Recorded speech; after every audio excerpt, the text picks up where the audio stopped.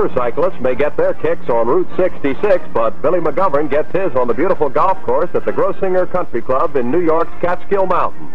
McGovern, an assistant pro at the club, sets out for a round with a golfing friend. His friend is fully equipped with clubs and cart, but all Billy has to tote is a modified club head attached to his right foot. Is he kidding? McGovern's partner has the honor.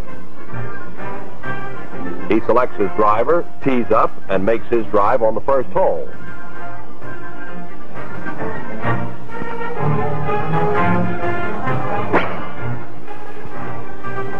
Billy says, I can kick the ball around better than that, and proceeds to prove his point. He tees up the ball, addresses it with his right foot, then steps back like Lou Groza kicking a field goal from the 50-yard line.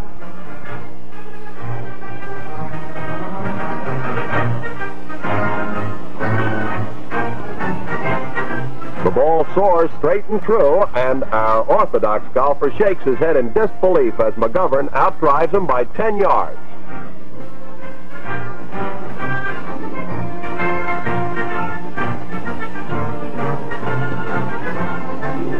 On his approach, Billy gets off on the wrong foot and dribbles one into the sand. Even the best wind up on the beach, and McGovern's no exception. Bill doesn't have to dig into the bag for his sandblaster. He hikes into the trap, swings his trusty right leg, and he's on the green. Now, as soon as he empties the sand out of his shoes, he'll be ready to putt.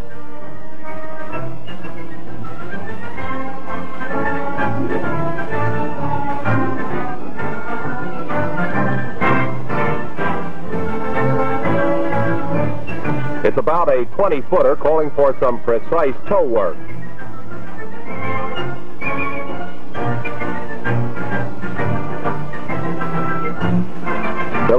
Hauls off and belts it pretty hard, but he's got the line and the ball drops for a beautiful par. McGovern's opponent is thinking seriously of throwing away his club. Billy demonstrates his place kick type drive again. When he meets the ball squarely, he gets good distance. Right here, he outdrives his conventional partner for the second time.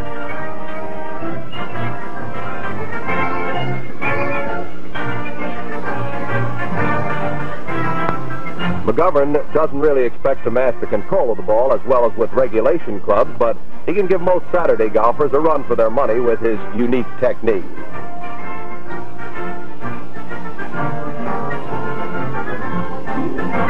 McGovern has developed amazing accuracy with his short game. Watch him chip this one right into the hole. Billy hasn't given up his orthodox game, but he delights in proving that there's more than one way to conquer par.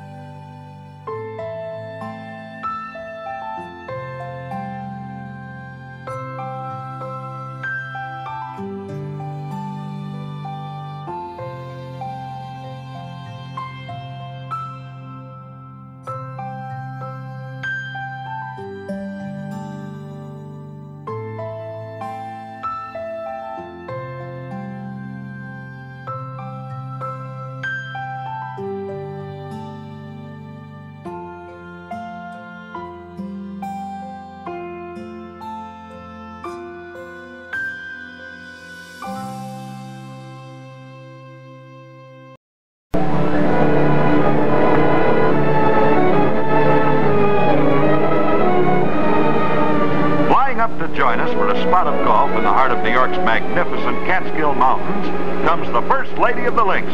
Yes, sir, we rate a date with the greatest gal golfer of them all. In fact, she's the most famous all-around woman athlete who ever lived. Babe Didrikson Zaharias, the never-to-be-forgotten Olympic track champ who turned golf professional. And here to give her the glad hand, the internationally known hostess, Mrs. Jennie Grossinger. Only a half hour from New York by small plane, this is a handy spot for weekending or vacationing fairway fans. Grossinger's famous hotel is set among some of the most delightful mountain scenery in the East. If it's a sporty course you're looking for, the Grossinger layout is just what the doctor ordered.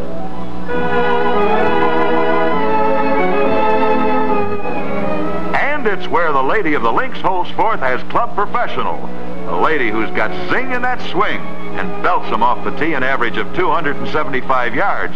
Look at that one fly down the fairway. The drivingest woman in the game today or any day. Babe also is right up on top with her ironing. Constant practice has perfected a stroke of the approach shots that's equaled only by leading players among the men. Shots that put her right up there on the carpet in two. But it's not just the sap who lands in a trap. Even the champ has to pound sand sometime. Anybody can get in. It's getting out that counts. Watch how Babe does it. She uses an open stance. The left foot back of the line of swing. The ball's on a line with the right heel. And she really digs those feet into the sand. Now notice that she winds up with only about a three-quarter backswing. Study the position, how she keeps her eye on the ball. Now the shot, blasting lots of sand. Idea in an explosion shot is to take plenty of sand. Arrow behind the ball shows where to belt it. Blast that sand and dig under the ball. That gives it loft and backspin. Look at that shot. Exploding sand, high-flying ball with plenty of reverse English. So that when it drops onto the green, it doesn't go galloping off in all directions, but stays put up near the cup. That's what you call control. Let's give it the once-over lightly again. Dig in with the feet, make with a three-quarter swing, geyser up that sand, and there you are, right up on the green. Brother, she's really got that ball educated.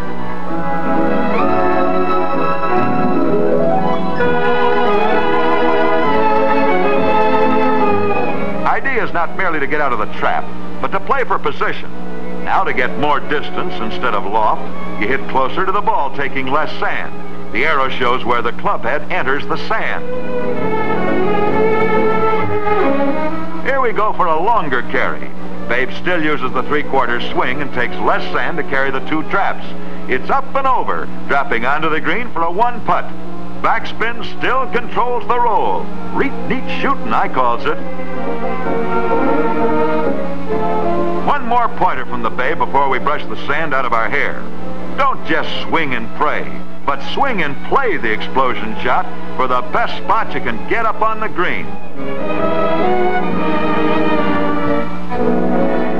Well, that brings us up to the most important and to many golfers, the most difficult part of the game, the chip shot. Clear the decks for action, Tommy, and let the chips fly where they may.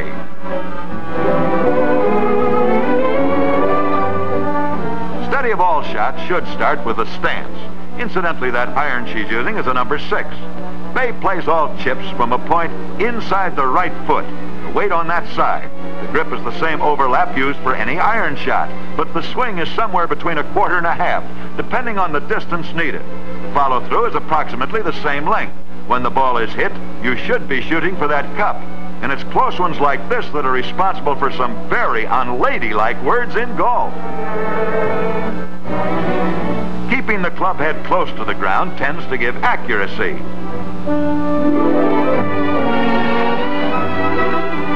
Hitting straight through the ball gives the necessary overspin. Can't guarantee results like this for duffers. She get this way? Plenty of practice, says the babe, plus the ability to practically call any shot. What she calls one like this, she's too much of a lady to say. But one like this, well, with body English and a bit of urging from Tommy, and brother, it's in. Babe says it takes practice to make shots like that last one.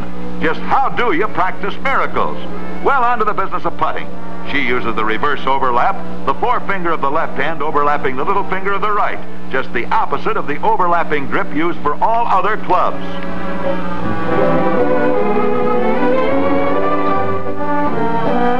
Now in the putting stance, there is slightly more weight on the left foot. Feet are about eight inches apart. On the green, the ball is played from a point directly opposite the left toe. Babe leans a little forward so that her nose is directly above the ball. Note the knees slightly bent. The tape represents an imaginary line from the ball to the cup for short, straight putts. Of course, you can't tape the green, but you can imagine a line like this. Hitting slightly on the upswing is the result of playing it off the left foot. That's what gives it overspin or roll. Now you see it, now you don't.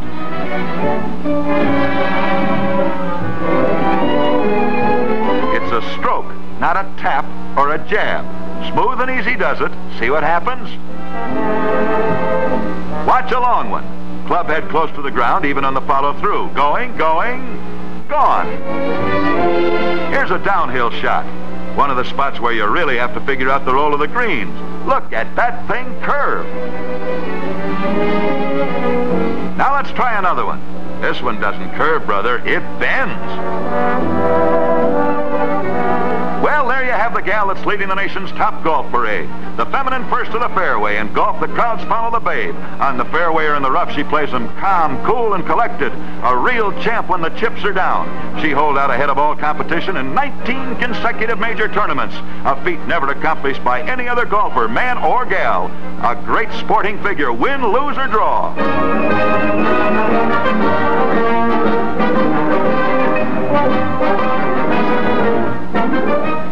Tournaments across the country, both amateur and pro, the Babe has blazed the trail of victory against all comers.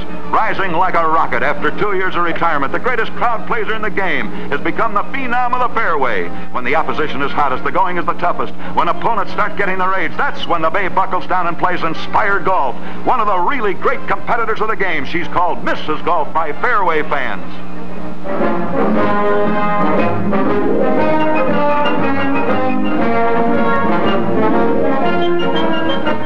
The greatest gal golfer of them all. The world of sports salutes Babe Zaharias, leading lady of the links.